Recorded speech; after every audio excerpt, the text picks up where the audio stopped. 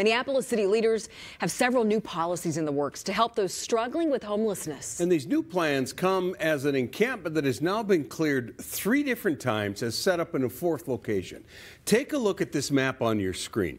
These are where the previous encampments have been located in South Minneapolis. And the first was cleared out January 4th. And overnight, they found another spot, this time along East 28th Street, just east of Abbott Northwestern Hospital.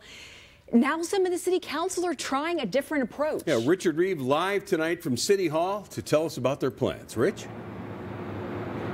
Yeah, Kevin, as you say, that encampment has moved four separate times, but now Councilmember Jason Chavez says he is looking for solutions. The new encampment, surrounded by a chain link fence, is here along East 28th Street in South Minneapolis. I get a text at work today from another neighbor who says, Oh, you've got new neighbors, and sends me a picture. And I'm like, What? Rand, who's lived in the neighborhood since 1991, is not happy. And why are you concerned?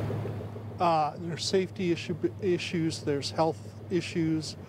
There's the issues related to their long-term best interest. This is the fourth location for Camp Nenookaasi in the last month.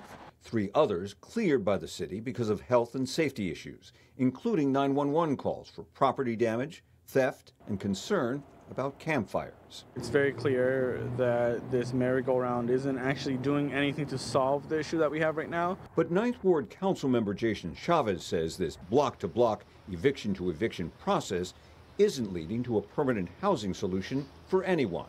He and other members are proposing that the city look into round the clock outdoor spaces like these being used in Denver. Let's say outdoor space that can have security, um, public health measures to actually make the situation better rather than making it worse. Another idea is to try to get more funding for a second Avivo Village.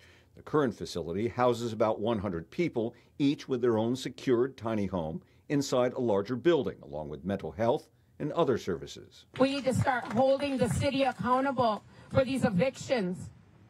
Where are the people supposed to go? Encampment organizers and their supporters say more options are needed for safe, stable housing and for healing spaces. Some dignified housing is what we need. Jasper Becker works nearby. I would say that the answer for both housed and unhoused neighbors is to give them a space to be, and it would make everybody feel safer and everybody feel calmer.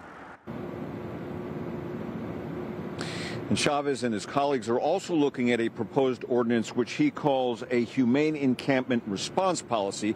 They may be talking about all of this in the committee in City Council this coming week.